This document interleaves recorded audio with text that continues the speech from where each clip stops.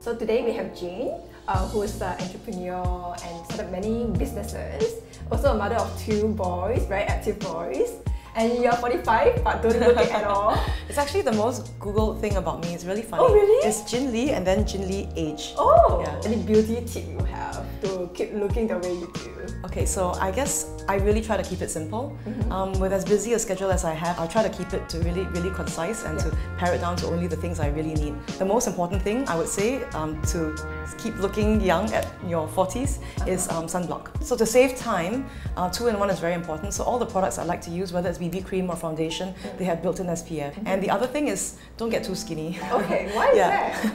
if you are, you stay a little bit plump like me, you'll have these plump cheeks, you know, like I think a round face helps you to look younger. Skin looks kind of like fuller and you don't get gaunt, so Yeah, you still have these very girlish features about your face. baby face. Yeah, yeah, yeah, yeah. and then contour.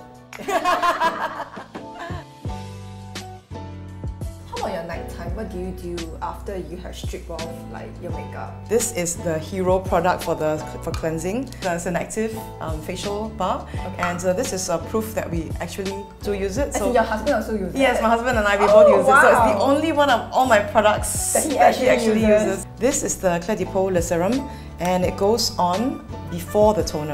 Okay. Um, so you just like use your fingertips and you dab it on and spread it with circular face? motions. Yes, the whole face.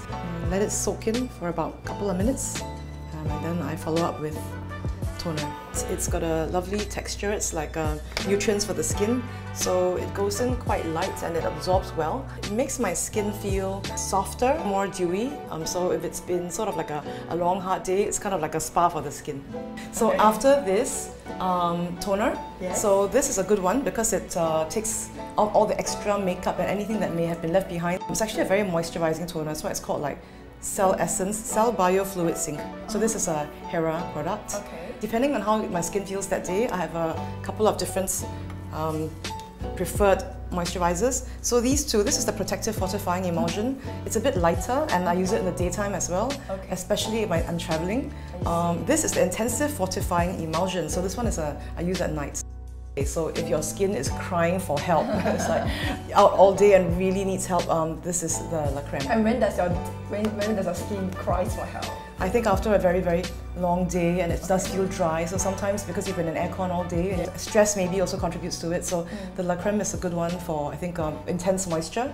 Um, it's also a must. I, I can't travel without this. All you need when you travel on a plane are these two things, both non-liquid as you can see. So the concealer, Clé de Peau, it's called the concealer, goes on over everything. So it covers everything from dark circles to uneven patches. You can even use it as a highlighter. And the other must-have product is the Mamonde Creamy Tint Color Lip Balm Intense.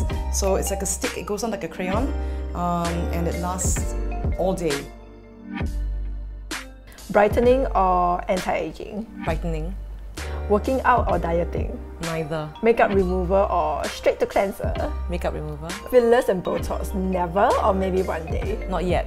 Okay, not yet. so yet. maybe one day. Not maybe, yeah, not ruling it out. Okay. So I think you know you're at that stage now. You just never know. yes, no, totally on with you. Okay, that's all I have. Thank you. Thank you. Okay.